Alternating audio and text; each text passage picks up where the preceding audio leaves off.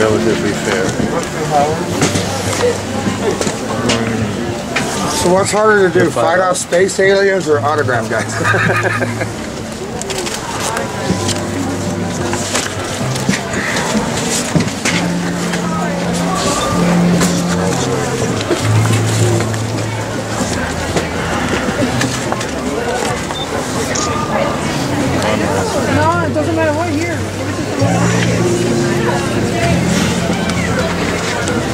You're a good man, Rutger. Thank you. Hey, Clark, what are you doing, man?